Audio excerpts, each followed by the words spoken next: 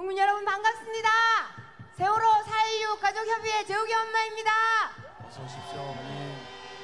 어, 저는 여러분들과 마음을 모아서 실컷 한번 외쳐보기 위해서 올라왔습니다. 세월호 참사 일어난 지 5년 8개월입니다. 그동안 저희가 주구장창 외치고 외치고 또 외쳤더니 이루어지고 있습니다. 세월호 참사 어, 진상규명 반드시 그래야만 제 가슴 속에 화인처럼 박혀 있는 이 돌덩이 그리고 국민 여러분들의 마음, 마음속에 가슴속에 박혀 있는 그 미안함의 돌덩이를 풀어낼 수 있을 것 같습니다. 세월호 참사 진상규명은 반드시 되어야 합니다.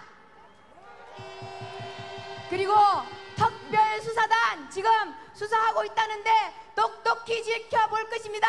어떻게 만들어진 특별수사 단인데 그렇죠. 어슬프게 예.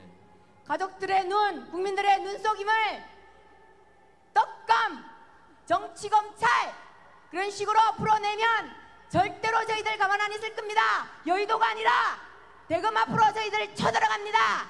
두 눈 똑똑히 뜨고 쳐다볼 것입니다. 그리고 국민들의 안위를 해치고 있는 이 적폐들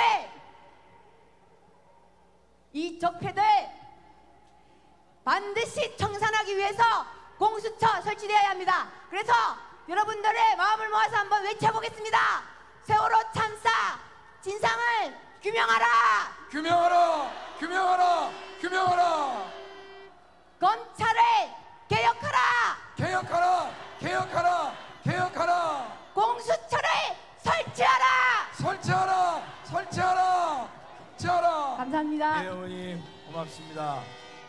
모든 국민의 뜻이 하나이기 때문에 반드시 될 것입니다. 이번엔 젊은 학생이 올라왔습니다.